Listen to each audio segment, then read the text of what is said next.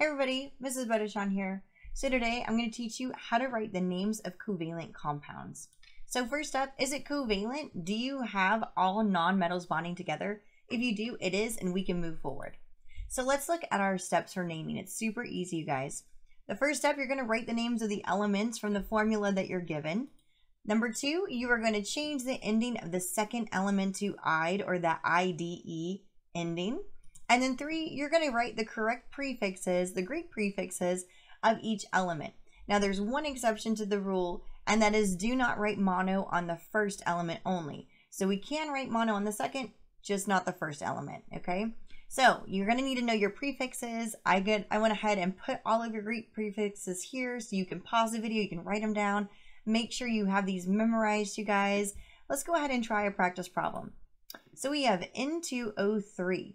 So our first step says write the names of the elements, so nitrogen and oxygen.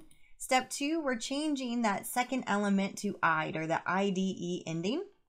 As you can see, we changed it to oxide instead of oxygen. And then step three, we're gonna write our correct prefixes for each element. So we have two nitrogen and two is gonna be di. So we put di in front of the nitrogen and then we have three oxygen and three is tri. So we're going to write the tri in front of the oxide now. So it reads dinitrogen trioxide. And that is your final answer for that one. Let's try one more with the exception to our rule so you can see it. So NO. Go ahead and write your, your element name. So nitrogen and oxygen again, right?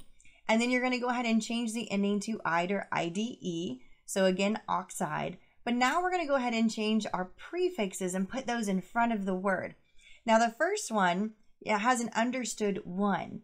Now one is mono, and that is the exception to our rule, okay? So if you have one on the first element, you're not going to write mono. It's just implied that we have one. So go ahead and leave that off, and you're just going to leave it the original name of the element, so just nitrogen for this example.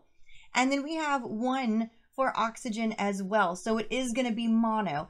And because it's a second element, we are going to write the mono on that one. So it ends up being monoxide. Okay, notice we didn't write the double O, we just left one O there. So it's just nitrogen monoxide.